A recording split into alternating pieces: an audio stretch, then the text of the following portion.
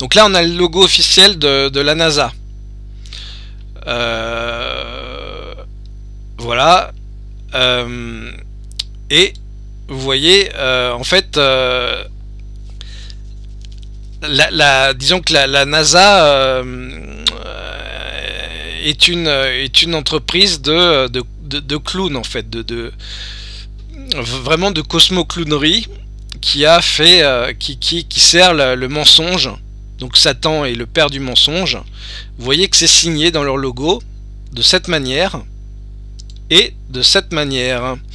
Euh, le, serpent, donc le serpent qui fait allusion à, Satan qui a tenté Ève au jardin d'Éden, donc pour manger le fruit défendu qui nous a précipité. Euh, euh, c'est la boîte de Pandore euh, de la mythologie grecque, hein, c'est-à-dire voilà la maladie, la vieillesse, la mort. Tout ça nous est tombé dessus parce que Satan, déguisé en serpent, a tenté Ève pour manger du fruit défendu et euh, Adam et, Ève ensuite a euh, proposé euh, à Adam de manger le fruit défendu et donc ça, ça a ouvert la boîte de Pandore, si je peux dire, ça, ça, constitue le péché originel pour nous catholiques. Et donc ça a entraîné la, maladie, la mort, la vieillesse, etc. dans le monde. Vous voyez, c'est signé. Hein. et je et pourquoi je peux aussi me permettre euh, de vous dire à 100% que la NASA est une entreprise de mensonges et de cosmoclownerie euh, parce que j'ai un peu étudié la question. Là, vous êtes sur, euh, sur une de mes playlists sur ma chaîne YouTube que j'ai intitulée Intox.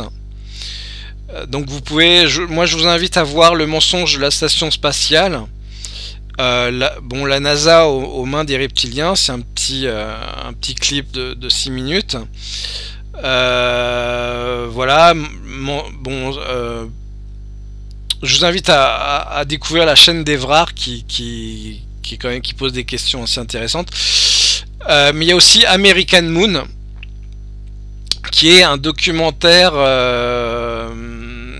italien, mais qui est disponible en français, qui dure 3h30 minutes voilà, qui coûte 15 euh, euros. Euh, c'est un documentaire, euh, donc vous pouvez quand même voir un peu la, présentation de ce documentaire.